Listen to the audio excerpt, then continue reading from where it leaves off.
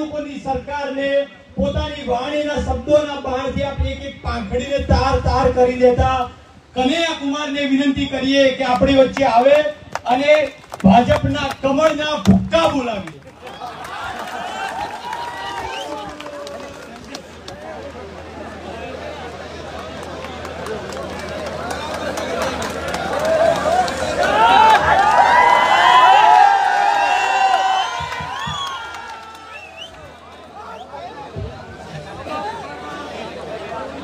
કેમ છો ગંગામાં તો સારું છે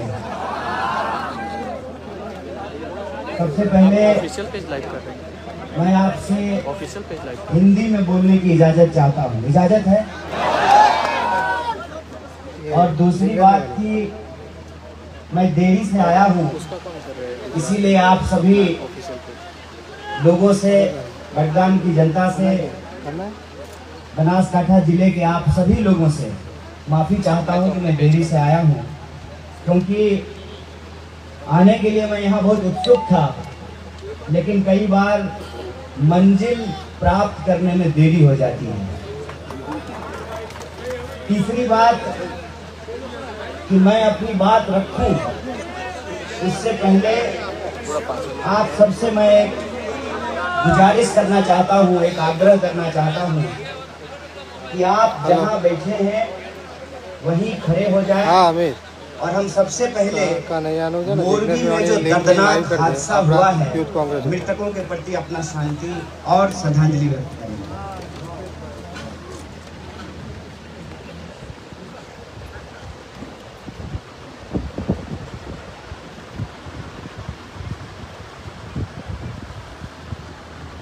धन्यवाद।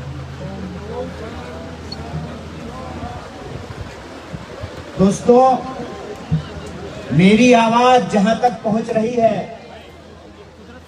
बनासकांठा ज़िले के बडगाम तहसील के, बडगाम विधानसभा के सभी आदरणीय बुज़ुर्गों का, माताओं बहनों का, नौजवान दोस्तों का, किसान मजदूर भाइयों का, दुकानदार साथियों का, खेती बाड़ी करके उद्योग धंधा चला करके, मेहनत मजूरी करके, अपना खून पसीना बहा करके अपने परिवार का भरण पोषण करने वाले आप तमाम नागरिकों का क्रांतिकारी इस्तकबाल करता हूँ, आपका हार्दिक अभिनंदन करता हूँ दोस्तों, भले मुझे गुजराती नहीं आती है, लेकिन मुझे गुजरात की भावना ज़रूर समझ में आती है। इसीलिए आप सब लोग पहले से बहुत देर से इंतज़ार कर रहे हैं। पूरा जो हमारा सम्मानित मंच है, कांग्रेस पार्टी के तमाम नेता, प्रभारी, तमाम जो हमारे फ्रंटल ऑर्गेनाइजेशन हैं यूथ कांग्रेस एनएसवाई महिला कांग्रेस, सेवा दल, किसान कांग्रेस, सभी पदाधिकारियों को मैं इकट्ठे प्रणाम करता हूँ, आपको धन्यवाद देता हूँ, क्योंकि मैं सीधे मंच से ना बात करके अपनी जनता से बात करना चाहता हूँ। और मैं आपको एक बात कहना चाहता हूँ, जो मेरे दिल में 2019 से है। मैं अपना पहला चुनाव अपनी जन्मभूमि पे जाके लड़ा था, बेगूसराय में। लेकिन मैं वो चुनाव नहीं जीत पाया। जिग्नेश अपना पहला चुनाव अपनी जन्मभूमि में नहीं लड़ा। बडगाम में आकर के लड़ा और आपने जिग्नेश को विधायक बनाया है, इसके लिए मैं आपको कोटि कोटि धन्यवाद देना चाहता हूँ। ये बात मैं आपको क्यों कह रहा हूँ? इस बात में एक गहरा राज छुपा हुआ है। राज ये है कि जिग्नेश भाई के साथ हमारा संबंध ऊना आंदोलन से है। लेकिन आज हम दोनों अगर कांग्रेस में हैं तो बडगाम की जनता के चलते हैं ये बात मैं आप लोगों से कहना मैं ये कह रहा था कि बडगाम की ताकत देखिए, पिछली बार जिग्नेश भाई सिलाई मशीन के निशान पर चुनाव लड़ रहे थे। वो सिलाई मशीन लेकर कांग्रेस पार्टी भारत जोड़ो यात्रा कर रही है। और बडगाम की जनता का ताकत देखिए कि आपने सिर्फ़ जिग्नेश को विधायक नहीं बनाया है, उसको कांग्रेसी भी बना दिया है। तो ये बडगाम के लोगों का आशीर्वाद है, ये बडगाम के लोगों की दुआ है कि वो पिछली बार अपक्ष लड़े थे, लेकिन आपने कहा कि हम अपना आशीर्वाद आपको दे रहे हैं। अपनी दुआ दे रहे हैं और इस आशीर्वाद और दुआ में हम ये कामना करते हैं कि आप इस लड़ाई को जो बडगाम में शुरू किए हैं, सिर्फ़ बडगाम तक सीमित मत रखिए, पूरा गुजरात लेकर जाइए, पूरा देश लेकर के जाइए। और उसी उसी पवित्र उद्देश्य के चलते जिग्नेश भाई आज कांग्रेस का खेस पहन करके आपके बीच में बैठे हुए हैं। इसीलिए मैं आपसे पहला आग्रह ये करना चाहता हूँ कि ये चुनाव जिग्नेश भाई का चुनाव नहीं है। ये चुनाव बडगाम की अस्मिता का चुनाव है, बडगाम के इतिहास का चुनाव है, बडगाम के भविष्य का चुनाव है, बडगाम के पहचान का चुनाव है। ये बात मैं आपको इसलिए कह रहा हूँ कि जब आसाम की पुलिस जिग्नेश भाई को पकड़ करके ले गई तो वो एक व्यक्ति को पकड़ करके नहीं ले गई थी। बडगाम की जो लाखों जनता है, उसके चुने हुए विधायक को पकड़ करके ले गई थी। इस चुनाव में आपको उस सरकार को जवाब देना है कि हमने वोट दिया है। हम अपना वोट दे करके अपना विधायक चुने हैं। आप हमारे चुने हुए विधायक को ज़बरदस्ती अपराधी की तरह गलत तरीके से दूसरे राज्य में कैसे जेल में बंद कर सकते हैं, इसका जवाब आपको देना है। और ये बात मैं आपको क्यों कहने के लिए आया हूँ? भारत जोड़ो यात्रा चल रही है। बहुत दूर हैं हम लोग, लेकिन हम आपके बाद, आपके बीच आए हैं। इसकी एकमात्र वजह है कि हम आपसे गुजारिश करने के लिए आए हैं। हम आपसे एक अपील करने आए हैं, हम आपसे एक अनुरोध करने के लिए आए हैं कि आपके कंधे पे पिछली बार से ज़्यादा बड़ी जिम्मेवारी इस बार आ चुकी है। ये जिम्मेवारी इसलिए आ चुकी है कि जिग्नेश के साथ अब आपकी पहचान और जिग्नेश की पहचान एक हो चुकी है। अगर जिग्नेश जीतेगा तो बडगाम जीतेगा, इस बात को याद रखिएगा। अगर जिग्नेश जीतेगा तो बडगाम से एक संदेशा सिर्फ़ गुजरात में नहीं, पूरे देश में जाएगा। कि अगर लड़ने वाले को परेशान करोगे, लोगों के हक और अधिकार के लिए जो लड़ते हैं, उन बच्चों को अगर तुम तंग करोगे तो उनके ऊपर हम अपना आशीर्वाद देंगे। ये संकल्प आपको लेने की ज़रूरत है। ये चुनाव कोई साधारण चुनाव नहीं है। अगर ये साधारण चुनाव होता, इस चुनाव की अगर कोई ऐतिहासिक जिम्मेवारी नहीं होती तो मैं आपको बात याद दिला देना चाहता हूँ। दोस्त तो जिग्नेश हमारे तब भी थे ना, जब पहली बार चुनाव लड़ रहे थे। मैं आया था आपके बीच चुनाव प्रचार करने। मुझे भरोसा था, बडगाम के लोगों के ऊपर, कि बडगाम कभी भी नफरत की राजनीति को जीतने नहीं देगी। और आपने आपने जिग्नेश भाई को अपना आशीर्वाद दिया था। आज मैं जो आपके बीच आया हूँ तो ये कहने के लिए आया हूँ कि सिर्फ़ गुजरात नहीं पूरा देश आपकी तरफ़ देख रहा है। अगर आप जिग्नेश को जिताएँगे तो उन सारे माँ बाप को ये उम्मीद बंधेगी कि अगर हमारा बच्चा गरीब के लिए, शोषित के लिए, दलित के लिए, अल्पसंख्यक के लिए, न्याय और अधिकार के लिए लड़ रहा है तो उसके हाथ पर, उसके सर पर भी हाथ रखने वाली जनता इस देश में है। इस बात का भरोसा उनको मिलेगा। मैं एक बात आपको कहना चाहता हूँ। प्रधानमंत्री जी जब कहते हैं कि मैं गरीब का बच्चा हूँ तो मुझे सुन करके बहुत अच्छा लगता था।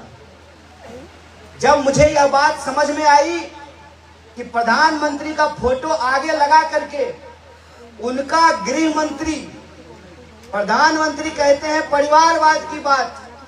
प्रधानमंत्री जी परिवारवाद का विरोध करते हैं। और उनका ही गृह मंत्री अपने धीकरा को बीसीसीआई का सेक्रेटरी बनाता है। प्रधानमंत्री जी परिवार का बात का विरोध करते हैं और उनकी ही पार्टी में 10 से ज़्यादा लोगों को नेताओं के बाल बच्चों को टिकट दिया जाता है। अभी मैं रास्ते में आ रहा था तो खाली जीप पे एक भाजपा का प्रत्याशी हाथ हिला रहा था। हमने पूछा ये कौन है? तो मेरे साथ एक साथी ने कहा, मोदी जी का नया परिवारवाद है। मैं आपसे ये कहना चाहता हूँ कि कांग्रेस पार्टी के ऊपर माननीय प्रधानमंत्री जी परिवारवाद का आरोप लगाते हैं। लेकिन है तो आज भी भारतीय राष्ट्रीय कांग्रेस में है जो इस देश की आज़ादी के लिए लड़ी थी, इस देश में संविधान को कायम की थी। और आपके ऊपर ये जिम्मेवारी है कि संविधान के अधिकार को आपको बचाना पड़ेगा। आपको एक संदेशा देना पड़ेगा इस देश की सत्ता को, इस देश कि आज भी इस देश में इंसानियत ज़िंदा है। आज भी इस देश में इंसान ज़िंदा है। आपको ये बताना पड़ेगा कि नोट की खनक के सामने वोट जो है, बडगाम का बिकाऊ नहीं है। ये बात आपको साबित करना पड़ेगा। आपको ये साबित करना पड़ेगा कि आपकी नोट की ताकत को हम अपने वोट की एकता से हराएँगे, ये बात आपको साबित करना पड़ेगा। और आप जानते हैं कि गुजरात में हमारे और भी दोस्त थे। और बीजेपी कैसे लड़ने वाले लोगों को, उनके साथ कैसा बर्ताव करती है, ये हमको मालूम है। पहले डराते हैं, अगर नहीं डरोगे तो आपको कानूनी मामलों में फंसाते हैं, आपको जेलों में बंद करके रखते हैं। तब भी अगर आप नहीं डरते हो तो फिर आपको नोट दिखाते हैं। और तब भी अगर आप अपना ईमान नहीं बेचते हो तो फिर आपको गोली मार देते हैं। ये हकीकत हमने इस देश में देखा है। इसीलिए मैं बड़ी उम्मीद लेकर के आपके बीच में आया हूँ। ये उम्मीद लेकर के आया हूँ कि आप ये भरोसा दीजिए कि जिग्नेश भाई तब में यहाँ मत रहो। सिर्फ़ बडगाम नहीं जीतना है। बडगाम तो तुम पिछली बार ही जीत लिए थे। पूरा का पूरा गुजरात जीतना है।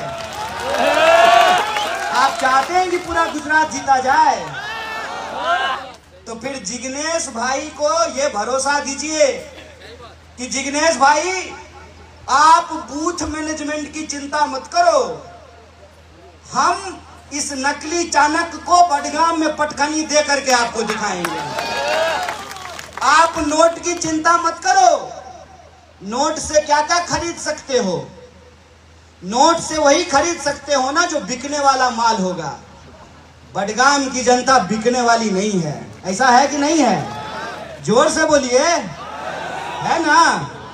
तो आप चाहते हैं कि गुजरात जीते? तो जिग्नेश भाई को और भी जगह जाना पड़ेगा ना।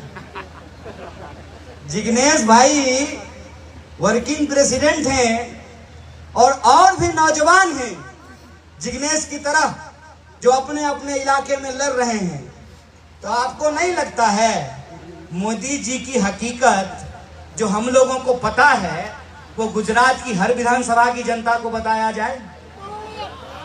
तो ये चुनाव जिग्नेश भाई लड़ेंगे कि आप लड़ेंगे?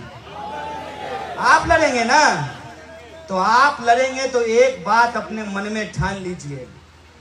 लड़ाई जब होती है ना, न्याय की, अन्याय के खिलाफ तो उसमें कोई धोखा नहीं होता है, कोई दुविधा नहीं होती है। वो लड़ाई जब होती है तो आर पार की होती है। होती है ना? अगर आप मोर्चे पे खड़े हैं और मन में दुविधा हो जाए, ये करें कि वो करें तो लड़ाई तो जीतने से पहले ही हार गए, शुरू होने से पहले ही हार हो गई। आपके मन में भी कोई दुविधा है? मन में दुविधा मत रखिए। मैं आपको यह बात कहना चाहता हूँ कि मैं दिल्ली रहता हूँ और हमारी यात्रा अभी हैदराबाद से गुजरी है। मैं ज़्यादा इस पे बोलना नहीं चाहता हूँ।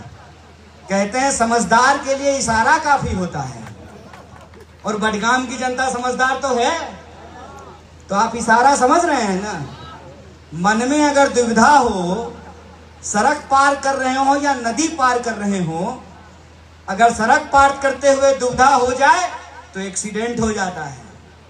और नदी पार करते हुए अगर दुविधा हो जाए तो नाव डूब जाती है। इसीलिए मन में कोई दुविधा मत रखिए। इस देश के भीतर एक मज़बूत विपक्ष के तौर पे कोई व्यक्ति अगर सड़कों पे उतर करके लड़ रहा है, अभिमन्यु की तरह तो राहुल गांधी इस बात को याद रखिएगा। अगर आप इस बात को समझते हैं, इस बात को महसूस करते हैं तो आप ये मत देखिए कि क्या होगा, कैसे होगा। वही होगा जो आप तय करेंगे। जब मैं चुनाव लड़ रहा था तो मैं अपना अनुभव आपसे कहता हूँ। कुछ नौजवान हमारे पास आए और बोले कि देखिए, आपकी बात तो हमको ठीक लगती है, लेकिन हमको ये लगता है कि आपको वोट देंगे तो आप जीतेंगे कि नहीं जीतेंगे? हम बोले, एक बात बताइए, ऐसा कौन सा जादू है कि आप वोट हमको दीजिएगा और जीत कोई और जाएगा। ये बात मैं आपको याद दिलाना चाहता हूँ कि डॉक्टर बाबा साहब भीमराव अंबेडकर ने, इस देश की संविधान सभा ने, भारतीय राष्ट्रीय कांग्रेस ने एक ऐसा अधिकार आपके हाथ में दिया है, उस अधिकार की ही ताकत है कि मोदी जी का फ़ोटो आगे करके सारा लुटेरा उनके पीछे खड़ा हो गया।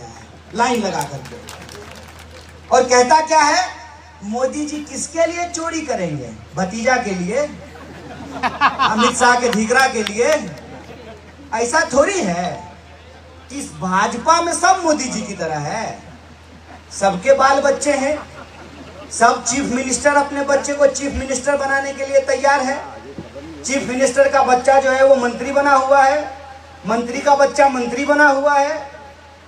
आपके हाथ में ही वो ताकत है कि पाँच साल नेता भले नज़र नहीं आए, पाँच साल नेता भले आपकी गलियों में ना भटके, लेकिन चुनाव के पंद्रह दिन सारा हेलीकॉप्टर आपके गाँव में आके उतर जाता है।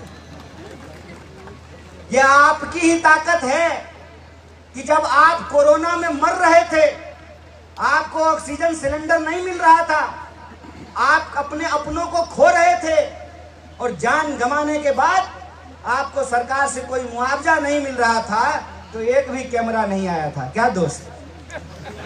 चुनाव नहीं होता तो बडगाम आते क्या? चुनाव है तभी ना आए हैं। मामला टीआरपी का है। तो टीआरपी देता कौन ये टीआरपी कौन देता है? ये आप देते हैं। मैं आपको बता देता हूँ जिसके जुल्म से आप परेशान हैं, उसको ताकत आपने ही दी है। उसको शहद आपने ही चटाया है। उसको अगर आप शहद नहीं चटाए होते तो आज आपका खून पीना नहीं शुरू करता यह बात आप समझ लीजिए कि संविधान ने यह ताकत दे दी कि टोपी वाला का वोट भी एक होगा और टिक्का वाला का भी वोट एक होगा। फॉर्चूनर पे चढ़ने वाले का भी वोट एक, हेलीकॉप्टर पे चढ़ने वाला का भी वोट एक और हमारे जैसे फुटपाथ पर चलने वाला का भी वोट एक। महिला का भी वोट एक, पुरुष का भी वोट एक, अमीर का भी वोट एक, अंबानी जी का भी वोट एक, और उनके ड्राइवर का वोट भी एक। ये जो वोट की ताकत हमारे हाथ में नहीं होती तो आप देखते रंग राजा राजवाड़े की बात करते हैं। जिसके ऊपर राजकुमार होने का आरोप लगाते थे, वो रोज 25 किलोमीटर देश की सड़कों पर पैदल चलता है। और जिसके ऊपर आपने भरोसा किया कि ये हमारी रक्षा करेगा, वो आपको आपस में लड़ाना शुरू कर दिया। आप मुझे बताइए कि जब पेट्रोल सौ रुपए लीटर बिकता है तो इससे हिंदू सुरक्षित होता है कि असुरक्षित होता है? जब देश में महँगाई 45 साल में सबसे ज़्यादा है बेरोजगारी सबसे ज़्यादा है जब डॉलर के मुकाबले रुपया अपने सबसे निचले स्तर पे चला गया है तब हिंदू सुरक्षित होता है कि असुरक्षित होता है? सुरक्षित ये जो खेल है ना ये खेल इस देश में पहले भी खेला गया है। मैं कहता हूँ कि बस आपको याद करने की ज़रूरत है। जब देश के किसानों ने यह फैसला लिया कि हम अंग्रेज़ अफसरों को लगान नहीं देंगे, ये हमारी धरती माता है। इस पे हम मेहनत करते हैं, हम फ़सल उगाते हैं। ये तीन में की तेरह में हम इसको लगान नहीं देंगे। तो अंग्रेज़ों ने किसानों की उस एकता को तोड़ने के लिए एक साजिश रची। सुअर मस्जिद में फिकवाए गए, गाय मंदिरों में फिकवाया गया, इंसान को आपस में लड़ाया गया। और इंसान जब आपस में लड़ते हैं तो उनके मुद्दे गायब हो जाते हैं, इस बात को याद रखिएगा। और मुद्दा अगर कोई है आज हमारा तो वो मुद्दा है रोजी रोटी, कपड़ा, मकान, शिक्षा, स्वास्थ्य, सड़क, बिजली, पानी, ये हमारा मुद्दा है। और इस मुद्दे पे अगर आप वोट करना चाहते हैं तो हम आपको भरोसा दिलाना चाहते हैं। कि आप जब वोट करेंगे तो सिर्फ़ एक विधायक नहीं चुनेंगे, आप एक उम्मीद का सितारा चुनेंगे, इस बात को याद रखिएगा। हम कहते हैं, जहाँ समस्या पैदा हुई, समाधान भी वहीं मिलेगा ना। आप सोचिए कि आपने मोदी जी को एक कार्यकर्ता से मुख्यमंत्री और मुख्यमंत्री से प्रधानमंत्री बना दिया। अब पूरा देश गुजरात मॉडल का मज़ा चख रहा है। इसका निराकरण कैसे होगा? इसका निराकरण होगा जब हम आँख बंद करके, बिना सोचे कि ये लड़ाई पार्टी की लड़ाई नहीं है, ये लड़ाई एक व्यक्ति को एमएलए बनाने की लड़ाई नहीं है, ये लड़ाई इस बात को पुनर्स्थापित करने की है कि गुजरात, गांधी और पटेल का था, है और रहेगा इस बात को साबित करने की ज़रूरत है। और क्या कहते थे गांधी? गांधी कहते थे, रघुपति राघव, राजा राम, पतित पावन सीताराम, ईश्वर अल्लाह तेरो नाम, सबको सन्मति दे भगवान। और आज जब मैं आ रहा था तो रास्ते में मैंने गुजरात की एक खूबसूरत चीज़ देखी। हर गाँव के बाहर एक चबूतरा बना होता है। और उस चबूतरे में पंछी आकर के दाना खाते हैं, पानी पीते हैं। आप तो गुजराती लोग हैं साहब। बेजान पक्षियों को दाना और पानी देते हैं। देश दाना और पानी के लिए मोहताज हो रहा है। आपसे आग्रह करते हैं कि आप देश को भी दाना और पानी दीजिए। आप अगर फैसला लेंगे और बिना दुविधा के लेंगे तो पूरे देश को एक मैसेज जाएगा। आप पूरे देश को यह मैसेज दे सकते हैं कि गुजरात का चुनाव इस बार धर्म के आधार पर होने वाली नफरत पे नहीं हुआ है। गुजरात का चुनाव इस बार लोगों के उसके पहचान के आधार पर नहीं हुआ है। गुजरात का चुनाव इस बार हम क्या खाते हैं, क्या पहनते हैं, इसके आधार पर नहीं हुआ है। गुजरात का चुनाव इस बार हम कैसे पूजा करते हैं, कैसे इबादत करते हैं, इस पर नहीं हुआ है। गुजरात का चुनाव इस बार इस मुद्दे पर हुआ है कि मोरबी की जिम्मेवारी कौन लेगा, इस बात पे हुआ है। गुजरात का चुनाव इस बार इस बात पे हुआ है कि जब अहमदाबाद के सिविल अस्पताल में लोगों को ऑक्सीजन नहीं मिल रहा था तो उसकी जिम्मेवारी कौन लेगा? प्रधानमंत्री जी, गुजरात छोड़ करके दिल्ली चले गए। दिल्ली से चले गए हैं विदेश घूमने के लिए। तो गुजरात को कौन देखेगा? गुजरात में आपने पहले भी गांधी और पटेल पैदा किया था। आज भी आपके बीच में ऐसे नौजवान हैं जो उन सपनों को साकार कर सकते हैं, उन नौजवानों को आशीर्वाद देने की ज़रूरत अगर आप ऐसे सोचते हैं कि मोदी जी गुजरात से हैं, मोदी जी गुजरात से हैं, मोदी जी से गुजरात नहीं है, ये संदेशा आपको इस बार के विधानसभा चुनाव में देना पड़ेगा। कि हमने आपको मुख्यमंत्री बनाया हमने आपको प्रधानमंत्री बनाया और आप हमको फुटबॉल बना के छोड़ दिए हैं। एक एक जर्नलिस्ट बोला कि आपका मुख्यमंत्री का कैंडिडेट कौन होगा? हम बोले देखिए अभी तो हमको बहुमत नहीं मिला है। जनता का आशीर्वाद नहीं मिला है। जनता का आशीर्वाद मिलेगा तो हम जो है नाम भी तय कर लेंगे। लेकिन जिसको आशीर्वाद मिल रहा है उससे जरा पूछ के बताइए कि वो अगला बार मुख्यमंत्री होगा कि नहीं होगा? भूपेंद्र पटेल साहब सो रहे थे। आप वीडियो देख लीजिएगा। उनको नींद आ रही थी ऊँग रहे थे वो। उनको मालूम ही नहीं था कि वो चीफ मिनिस्टर होने वाले हैं। और रूपानी साहब को मालूम ही नहीं था कि उनको एमएलए का भी टिकट नहीं मिलने वाला है। तो ये कौन तय कर रहा है? पहले आनंदीबेन पटेल साहिबा थी। फिर रूपानी साहब आए, फिर भूपेंद्र पटेल आ गए। कल को क्या गारंटी है कि कौन होगा? जैसे बीसीसीआई का सेक्रेटरी बनने के लिए नियम बदल गया तो हो सकता है कि जैसा ही हो। नहीं हो सकता है। और यह सबको मालूम है। मैं बाहर से आया हूँ। मैं आपको क्या बताऊँगा साहब? अभी आया हूँ, चला जाऊँगा। मैं तो अपना प्रेम अपनी एकता और अपनी निष्ठा आपके साथ जो है वो दिखाने के लिए आया हूँ। लेकिन आप तो यहाँ रहते हैं। आपको तो सब कुछ मालूम है।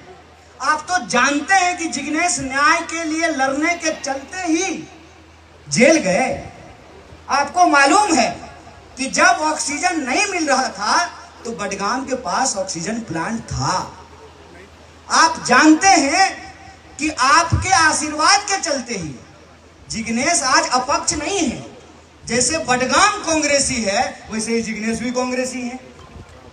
आप ये जानते हैं कि आपके तरह अगर पूरा देश सोचने लगे, बडगाम की जनता की तरह अगर पूरा गुजरात सोचने लगे तो गुजरात में परिवर्तन के संकल्प को कोई रोक नहीं सकता है।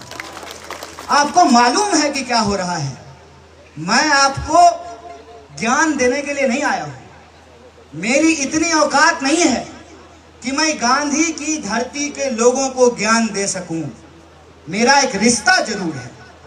मेरा एक रिश्ता है कि आपने गांधी को पैदा किया मोहनदास के रूप में, मोहनदास करमचंद के रूप में। मैं बिहार से आता हूँ, उस बिहार की धरती ने उस मोहनदास को महात्मा गांधी बनाने का काम किया है। मैं वो भावना लेकर के आपके बीच में आया हूँ कि जो न्याय के लिए लड़ने वाले लोग हैं उनको आपके समर्थन की ज़रूरत है। वैसे ही जैसे क्रिकेट मैच होता है ना तो खेलते ग्यारह लोग ही हैं, लेकिन सौ करोड़ जनता की भावना उनके साथ होती है। लड़ेंगे हम ही लोग। लड़ रहे हैं राहुल गांधी। और आज वहाँ से बड़ी गुजारिश, मिन्नत करके मैं आपके बीच आया हूँ। लड़ेंगे हम ही लोग। लेकिन इस लड़ाई की जिम्मेवारी आपको अपने कंधे पर भी लेनी पड़ेगी। ये लेने के लिए तैयार हैं? तो जिग्नेश भाई को यहाँ रहने की ज़रूरत नहीं है ना? दूसरे जगह भी चुनाव प्रचार करेंगे ना? तो ये लड़ाई अब नोट और वोट के अधिकार के बीच की लड़ाई है। ये लड़ाई अब वो जो सत्ता अभिमान में और गुरूर में चूर है, उसके बीच और बडगाम की जनता का जो सच है, उसके बीच में है। ये लड़ाई नोटों के दम पे खरीदे गए लोग और अपने ईमान से ज़िंदा लोगों के बीच में है। अगर आप ज़िंदा हैं तो ये लड़ाई आप हर हाल में जीते थे, जीतेंगे, ये हमारा भरोसा है। और इसी भरोसे के साथ एक आखिरी अपील मैं आपसे करना चाहता हूँ। दोस्तों, देश के अंदर एक गंभीर परिस्थिति है। गंभीर परिस्थिति यह है कि हर किसी का असली मुद्दा कुछ और है। मुद्दा यह है कि गुजरात में बिजली बिल सबसे ज़्यादा वसूला जाता है। गुजरात की हालत यह है कि किसानों को उनकी उम्मीदें पूरी नहीं हो रही हैं। गुजरात की हालत यह है कि मनरेगा की मनरेगा की बात जिग्नेश कर रहे थे कि कितना बड़ा भ्रष्टाचार उसके अंदर किया जा रहा है। इसीलिए मैं आपसे ये आग्रह करने के लिए आया हूँ कि टीवी जो मुद्दा दिखाता है ना, उस मुद्दे पे वोट मत कीजिए। और टीवी जिसको प्लेयर बताता है ना, उस प्लेयर को प्लेयर मत समझिए। आँख बंद करके सोचिए कि आपका मुद्दा क्या है। और आपको यदि लगता है कि जब आप पेट्रोल पंप पे जाते हैं, पेट्रोल भरवाते हुए आपको ऐसा महसूस होता है कि सिरिंज से कोई खून हमारा निकाल रहा हो। ज्यो ज्यो मीटर बढ़ता है त्यों त्यों धड़कन तेज होती है। अगर आप महँगाई से परेशान हैं तो आप महँगाई के खिलाफ वोट कीजिए। अगर आप बेरोजगारी से परेशान हैं तो आप बेकारी के खिलाफ वोट कीजिए। अगर आप किसान हैं और आपको आपके फ़सल का दाम नहीं मिल रहा है तो है।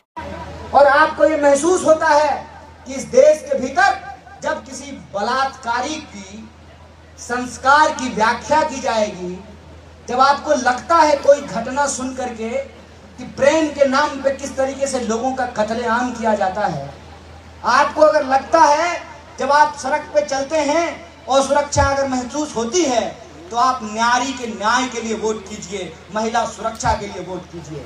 अगर आप नौजवान हैं और आपको ये महसूस होता है कि आपका पिताजी गृह मंत्री नहीं है तो आपका कुछ नहीं हो सकता है तो अपने कैरियर के लिए वोट कीजिए, अपने हक और अधिकार के लिए वोट कीजिए। यही अपील मैं आपसे करने के लिए आया हूँ। और कांग्रेस पार्टी एक प्रॉमिसिंग फाइटिंग लीडिंग अपोजिशन का रोल प्ले कर रही है।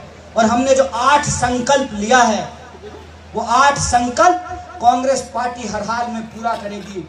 बेरोजगारी भत्ता का सवाल हो, कोरोना में जान गंवाने वाले लोगों के मुआवजा का सवाल हो, किसानों को कर्जा माफ़ी का सवाल हो, तमाम लोगों को इलाज का बीमा देने का सवाल हो, बिजली बिल कम करने का, बिजली यूनिट फ्री करने का सवाल हो, जो कॉन्ट्रैक्ट पे लोग हैं उन कॉन्ट्रैक्ट को परमानेंट बहाल करने की बात हो। अभी मैं जब रास्ते से आ रहा था तो होम गार्ड हमको मिले, गाड़ी चेक करते हुए।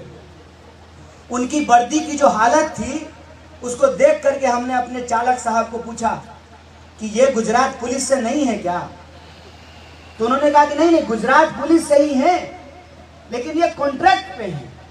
और वो कॉन्ट्रैक्ट पे होने के चलते आपको देख करके पता चल जाएगा कि जीवन का अंतर क्या है। एक ही ड्यूटी करते हुए दो इंसान का वर्दी देख करके आप समझ जाएँगे कि उनके जीवन की असली हालत क्या है। आप पशुपालकों से बात करके देखिए, किस तरीके से आज उनकी चारागाह की जमीनें छीनी जा रही हैं। आप आदिवासियों से जाकर के बात कीजिए, किस तरीके से उनके जल जंगल ज़मीन का अधिकार छीना जा रहा है। और आप इस देश की अकलियत से बात कीजिए कि बार बार बार बार किसी ना किसी मुद्दे से किस तरीके से ध्रुवीकरण करके एक डर का माहौल पैदा किया जाता है? ये तमाम जो मुद्दे हैं, इस मुद्दे के आधार पर कांग्रेस पार्टी ने जो आठ संकल्प लिया है, उस संकल्प को परिवर्तन का आधार बनाने के लिए वोट कीजिए और हमारा पूरा भरोसा है। उसी भरोसे के बीच हम आपके बीच आए हैं कि आपने पिछली बार भी एक संदेशा दिया था। वो संदेशा गुजरात के लिए था। इस बार भी वो संदेशा दीजिए वो संदेशा सिर्फ़ गुजरात के लिए नहीं हो, पूरा देश के लिए हो और पूरे देश के, पूरे देश के नौजवानों के बिहाफ पर मैं आपसे हाथ जोड़ करके अपील करता हूँ कि जब आप वोट करने के लिए जाइएगा, अपने घर के बच्चों को, उसके भविष्य को और नौजवानों के बारे में सोचिएगा।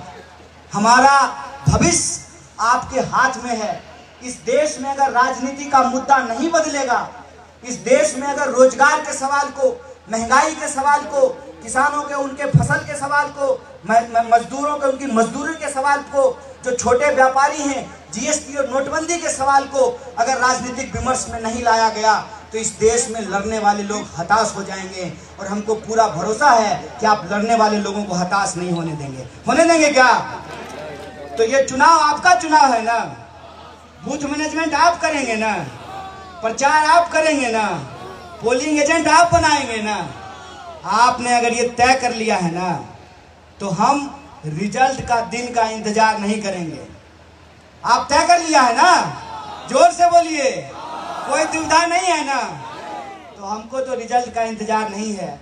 मैं अभी परिणाम निकाल करके जा रहा हूँ कि अपना भाई जिग्नेश मेवानी सिर्फ़ बडगाम का नहीं पूरे गुजरात में एक परिवर्तन का आवाज़ बन करके उभरे हैं। बहुत बहुत धन्यवाद। बहुत बहुत शुक्रिया। खूब खूब आभार।